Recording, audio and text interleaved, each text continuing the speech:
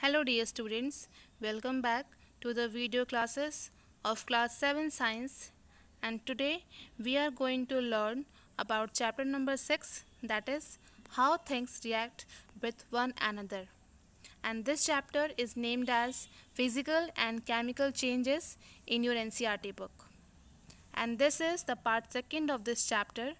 In the previous part we have discussed about the physical and chemical changes in brief.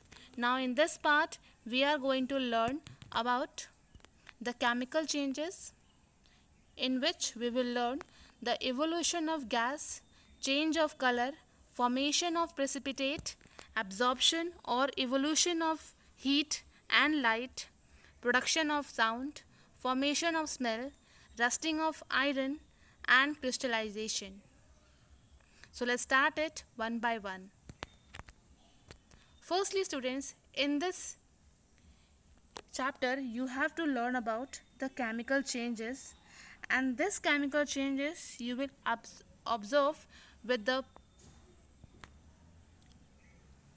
activity that is given in front of you. So here in this activity you have to do this activity with the help of magnesium rubber. So magnesium rubber is not uh, present around us. So students as we know that we are in the we are uh, in the situation of pandemic okay and now we do not able we are not able to do uh, activities but we will learn that how this activity is done and what uh, important point that we have to know about the following activities. So students no need to perform these activities at your home. These are so much dangerous. Okay and you only have to know that what changes you will observe from these activities and what things are required how the chemical changes takes place among these uh, activities. Okay so this activity in which you have to observe that how the burning of magnesium uh, ribbon it is the example of the chemical change. What things new things are formed in this activity you have to know in know in it. Okay. So firstly students when you will burn the magnesium rubber rub, uh, ribbon you will observe that the magnesium ribbon it is burning with a flame. Okay you will observe that there is uh, the the blue flame you will observe in the when the magnesium ribbon is burning and that blue flame when it will completely burn the magnesium ribbon at the last you will get the ash of the magnesium. Okay so this ash is also a new thing and that ash is known as magnesium oxide okay. So firstly you will burn the magnesium and at the last you will get the magnesium oxide. So this burning is also the chemical change and when you will put the ash into the water you will get something new again. Do you know what is it? That will be magnesium hydroxide. So in the image you can see this will shows you the magnesium ribbon ribbon how the magnesium. This is the magnesium ribbon. Okay. So this ribbon it is burning with and giving the blue flame to us. And at the end you will get the ash from it. And collect this ash and put it into the water. So what you will get from it? You will get the magnesium hydroxide. Okay so in this reaction you will observe that magnesium when it is burning in the presence of oxygen it gives you the magnesium oxide. And when the magnesium oxide it is poured into the water you will get back you will get something new. That will be magnesium hydroxide okay so that is why here in both the cases you are getting new substances and that is why these are known as the chemical change. Now in the second activity in this what you have to do you have to take some copper sulfate in a beaker like this and you have to put a nail in it okay? You know that nail it is the iron article okay? And when you will pour the nail into the into the copper sulfate this iron article react with the copper sulfate okay? The reaction takes place between the copper sulfate and the iron okay? And the iron so when the reaction takes place, you will observe that the color is changed. Color of both the ingredients, both the reactants are changed. Like the color of copper, uh, firstly it is blue in color, okay. But after the reaction, you will observe the greenish color and the iron article it has again some deposition of copper and that is why it is brown in color. So in both the cases in in this also both the ingredients shows different color. Like here when you are mixing copper sulfate okay the copper sulfate its color is blue and the iron its color is gray in starting. Okay these are known as reactant the things which are reacting they are known as reactant. And after reaction the iron sulfate is formed. Okay. So here you can see that there is the formation of new thing that will be iron sulfate. Firstly it is copper sulfate but now it is iron sulfate and that is new thing. And this color its color is green. And you will get the brown deposition on the iron nail and that will be the copper okay so in that way you can you are able to separate the copper from the sulfate. And now this iron it is taking the place of copper and this copper it is removed from it. And when iron take the place of copper it will forms iron sulfate as you can see here. Okay so iron sulfate is formed in this reaction. Now in the third activity what you have to do you have to take the baking soda okay and pour it into the vinegar solution. Vinegar solution okay these are the acidic solution. And this baking soda do you know what is the nature of baking soda? You have studied about it in the chapter acid base and salt. Yes the baking soda is base okay. So here the baking soda is base and here the vinegar is acid. So when the vinegar and baking soda these are reacting it will forms a gas and that gas is known as the carbon dioxide gas. Okay and this carbon dioxide gas how you will identify that the gas which is produced in this reaction in uh, when the baking soda and the vinegar is mixing so how you can uh, identify that the gas which is produced is carbon dioxide. So you can identify with the help of lime water. So again students in this activity you have to take another test tube and pour lime water in it and pass the gas which is produced in the first tube. Okay. So after passing the gas from the uh, from the first tube to the lime water the lime water its color is changed into milky so immediately the color is changed into milky if the gas which is produced here is carbon dioxide. So you can identify that if the color is changed uh, into milky color of lime water then you can say that this is the carbon dioxide gas which is produced in this mixture when the baking soda react with the vinegar. Now here in the fourth activity there is the solution of copper sulfate in the first test tube. Okay. And what you have to do you have to pour some zinc particles in it. Okay. You have to pour some zinc particle in it. And after pouring after doing so you will get the change in the color. Okay. Because the change in color it will show you that something new is formed.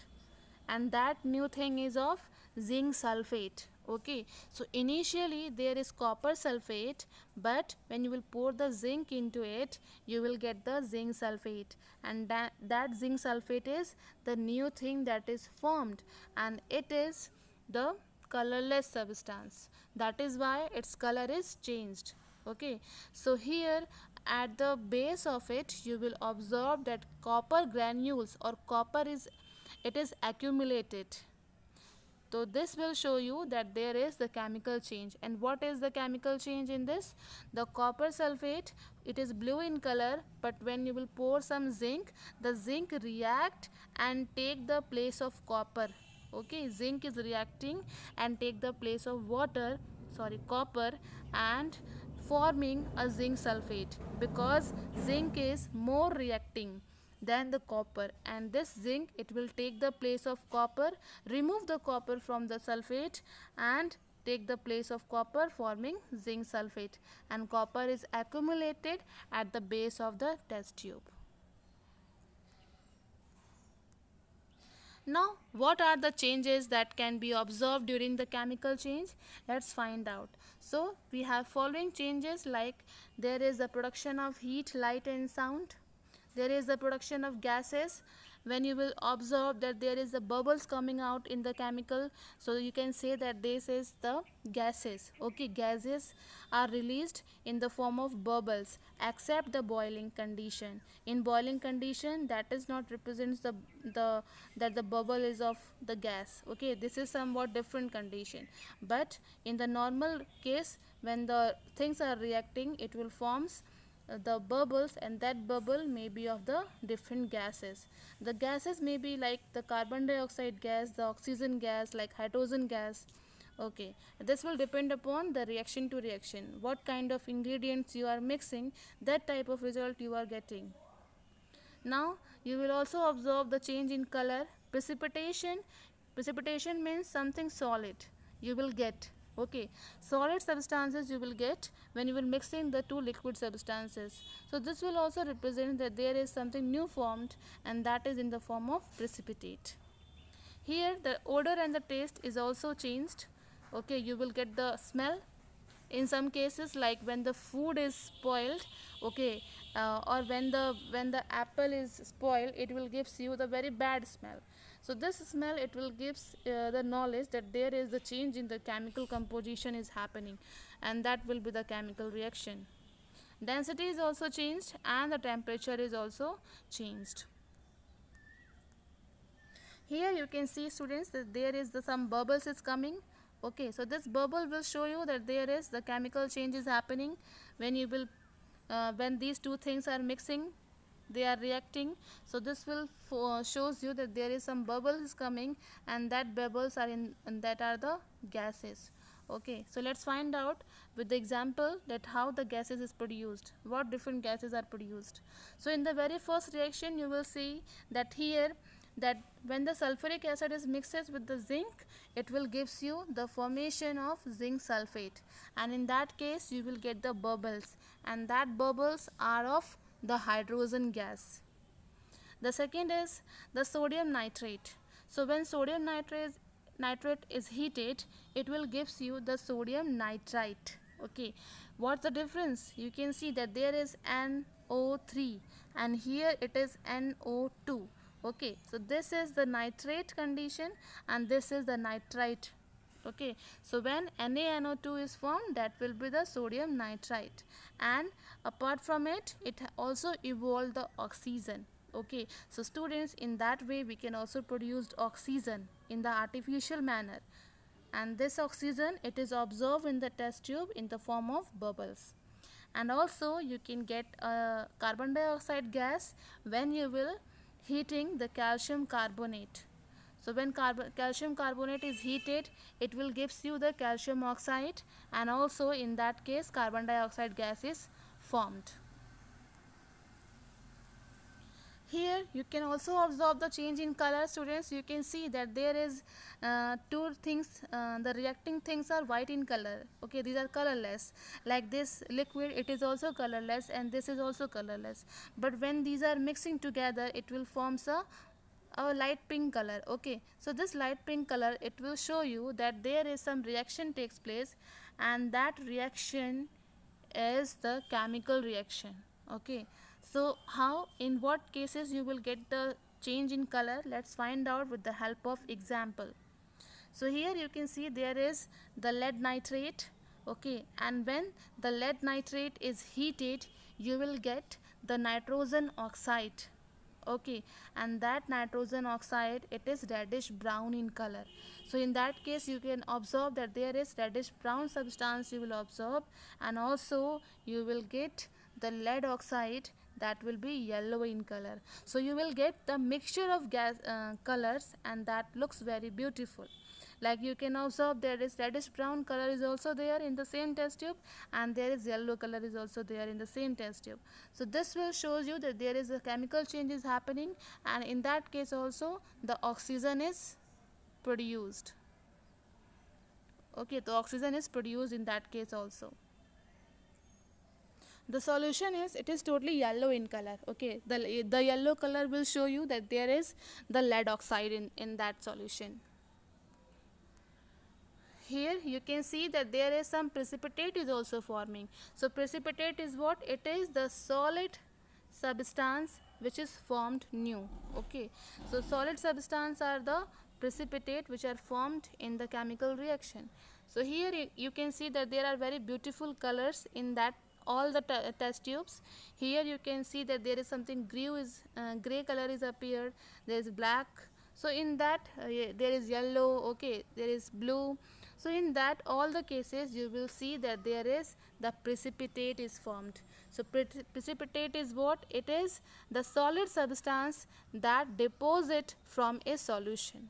Okay, so it is the result of a chemical reaction. When chemical reaction takes place, in some cases there may be the formation of precipitate takes place and here also these all colored substance will show you that there is the precipitate formed. So if this question is asked to you that what is precipitate, then you will simply reply that it is the solid substance that deposit from a solution. Now let us find out in what cases you will get the precipitate. So students, when you will mix the copper sulfate and hydrogen sulfide and these are reacting with each other.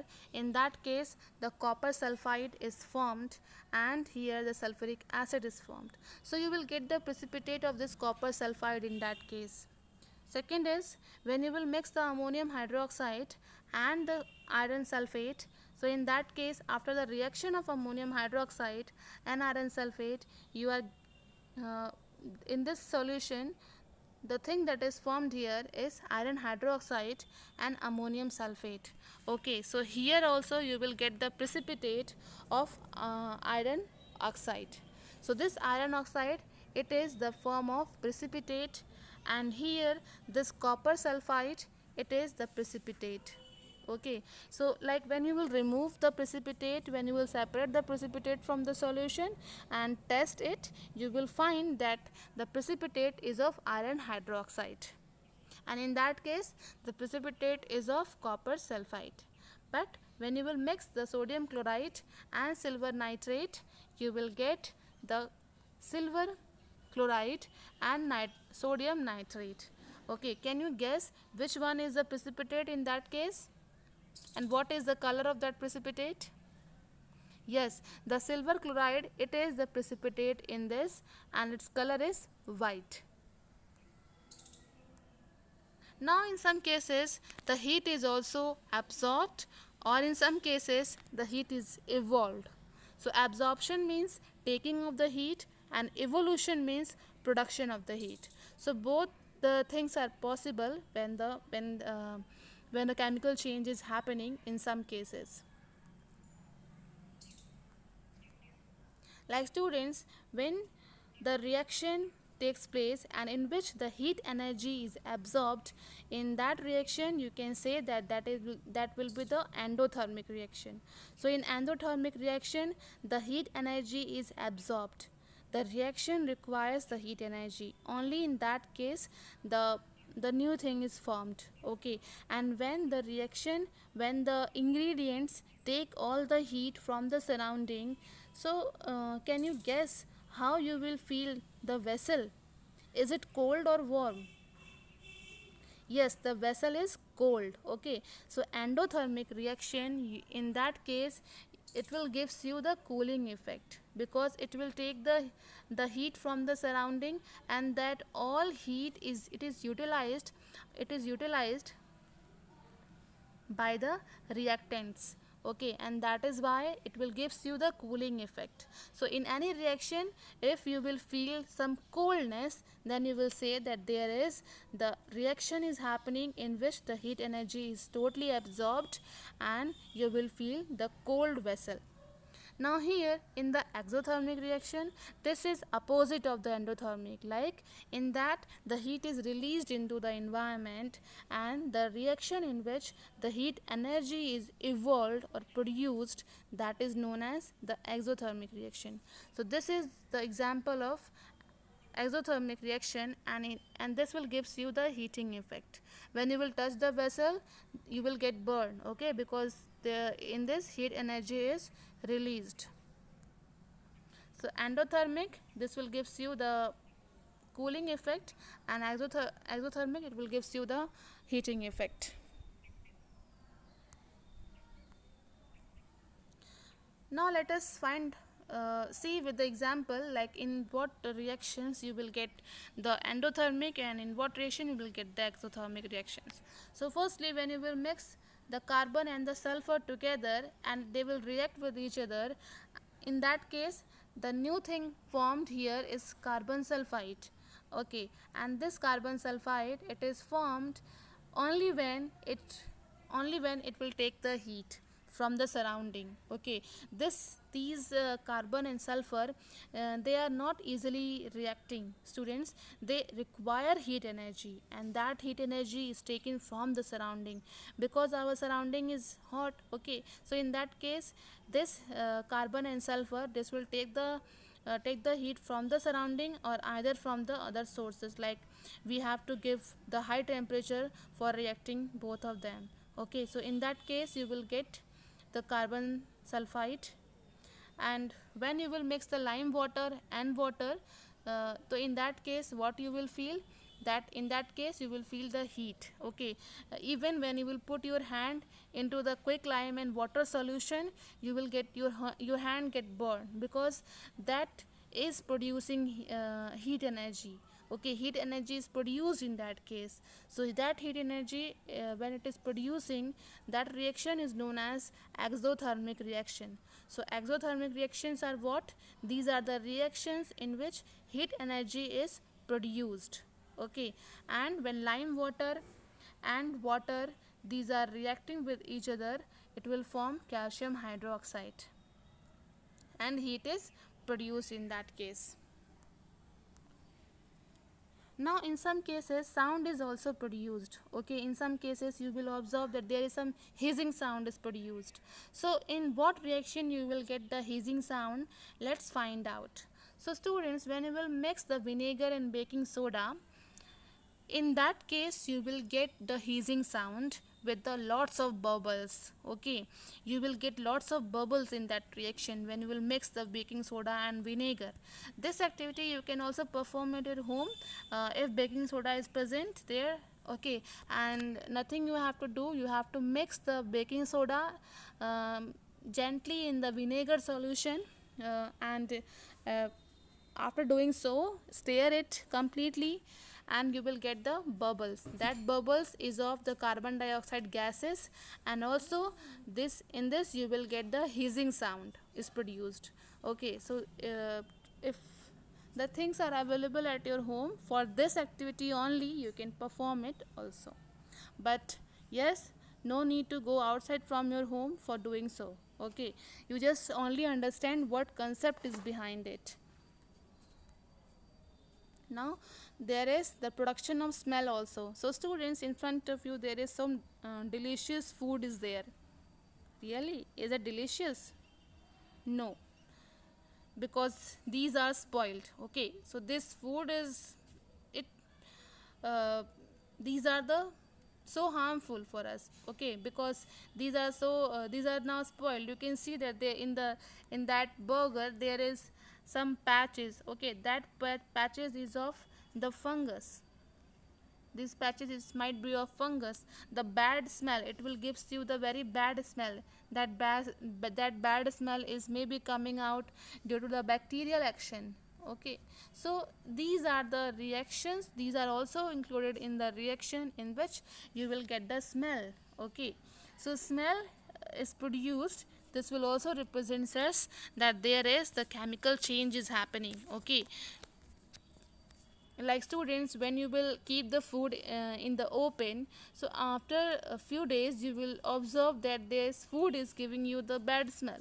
That bad smell is coming because the bacterial action is happening there. The bacteria it will change the composition of the protein and it is producing the amino acid okay in that case. And that smell that is coming out here that may be of the amino acid or any other acid which is produced by the bacterial actions. And that white and uh, white and brown patches you will observe that patches is of the fungus and can you uh, give me the name which fungus is grown on the on the bread? Try to find out. Now the next is rusting so students as you can see in the image that there is the iron article present in front of you and here this iron article is somewhat brown in color. Is this brown in this brown color is the original color of that article? No, this brown color is the rust. That brown color, it is known as the rust. Okay, this rust, it's, it has a chemical nature and that will be the iron oxide. This iron, it is the in the condition of rust. What is rust? So when iron is exposed to the air and air, a bright or orange compound that is formed in it it is the rust and it break down the iron object easily. And here rusting requires water and air to be to be uh, present okay? So rusting is only happening when the iron is open the iron article is open it is not polished and the water molecule and the oxygen molecules these are directly reacting with it. So in that condition the rusting is happening so rusting requires only two things. The first is oxygen molecule and the second thing is the water molecule that is present in the water vapor. And it is too difficult students to protect the the iron article from these two things because this oxygen and water vapor are present there. Okay we can't stop uh, we can't control the presence of oxygen and uh, uh, water vapor in our surrounding. But we can prevent the iron article by by painting on it, by the process of galvanization, by electroplating. So there are many more processes through by applying them we can uh, protect our iron articles easily. So here what things are needed and what are the ingredient for the formation of rust. So firstly you know that there is the requirement of oxygen that it will complete from the surrounding the iron article must it is must and the water okay? So in that case you will get the rust and that rust is nothing but the iron oxide okay? So in chemical nature it is said to be the iron oxide Fe2O3 H2O so this is known as the iron oxide. As you can see here that uh, in that case iron is its chemical symbol is only Fe okay. But when it will uh, deposit it, uh, but when there is uh, the brown layer is depositing on it in that condition it is known as rust and rust its chemical na nature is also changed. Now it is known as iron oxide. So conversion of iron from conversion uh, of iron article into iron oxide this is the chemical change and this change it is also the irreversible change. Like you can't reverse the the it, it again but we can protect it. And how we can protect our iron articles? Let's find out. So we are using grease or we are applying the oil on it. Also we can paint the iron article in that way. This painting will prevent the iron to come in direct contact with the oxygen and the water vapor okay so we can um, protect the iron article to directly come in contact with the oxygen and water. So in that way we can prevent it easily. And also we can do the galvanization. So galvanization is what? It is nothing but it is the coating um, layer of zinc on the iron. So uh, the layer of zinc is to be coated on the iron article. So in that case the zinc it is less reactive as comparison to iron and that zinc is not allows uh, to uh, come in contact between the uh, the iron article uh, the iron and the water and the oxygen. So in that way this zinc will, will prevent the direct contact between the two reacting things. And that is known as galvanization. So galvanization is a process of coating a layer of zinc on the iron. Okay. Now the next that we have to know is crystallization. So students have you ever uh, listen about the term crystallization? Or you have seen the crystals of anything around you? Even you are using uh, in your day-to-day -day life also the crystals yes you have seen the crystals of sugar. You have seen the crystals of salt. Okay the sugar and salt are what? These are also the crystals and these uh, um, these are formed by the process of crystallization also. Okay so here uh, not only this but the alum that is in Hindi it is known as fitkari so that is also the the example of crystal um, and also there is some specific nature of crystal is the crystals are somewhat shining in color. Okay. So crystals are shining because these have their atoms are arranged in a specific pattern. Okay. That is why this this will shows you a different shining appearance from its surface. So in crystals the atoms are arranged in a regular pattern and the crystals of common salt like uh, the common salt, the sugar, the alum, these all are obtained from the solution of these substances in water and this is known as the crystallization. And during the crystallization, a solid is first dissolved in the water okay like here you can see that there is a gathering of salt is takes place from the salty water. How the how they are doing so? They are they are uh, collecting the water the salty water okay and let it be as such for the evaporation when the water is totally evaporated the salt is uh, obtained. The, the salt is gathered then and it is now uh, going for the different processes for making it pure and healthy. Okay so salt is obtained from the salty water like this. You can see here that these these people are collecting or gathering the salt. Now the formation of copper sulfate how the copper sulfate is formed or how any crystal is formed. So this is very simple um, in this.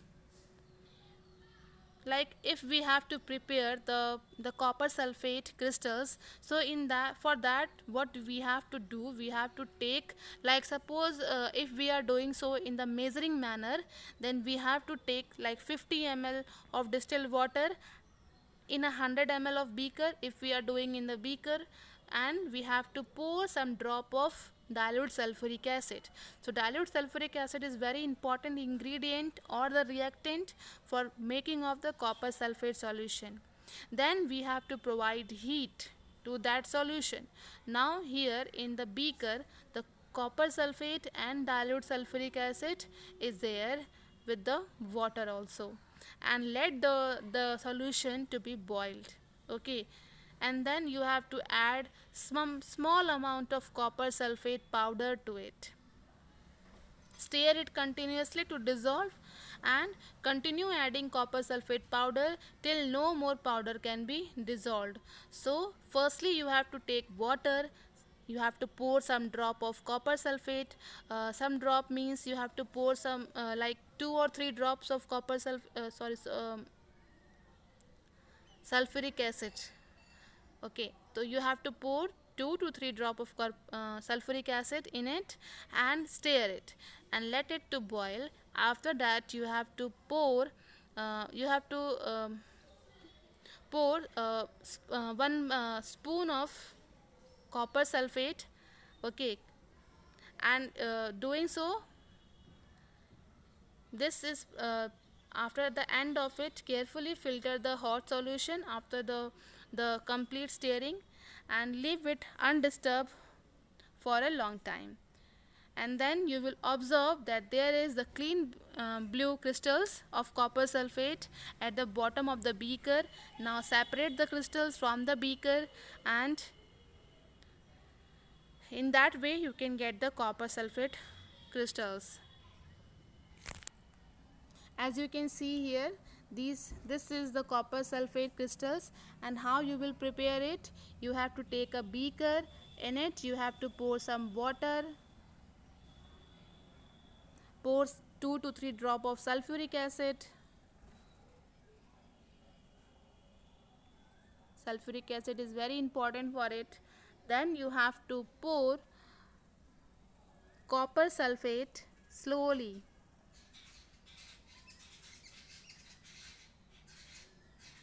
so this copper sulfate it is in the form of powder okay? In market it is available in the form of powder.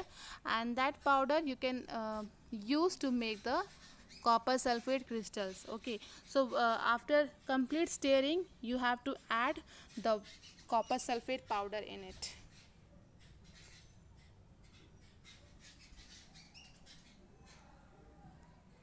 So this is all about this chapter students. Thank you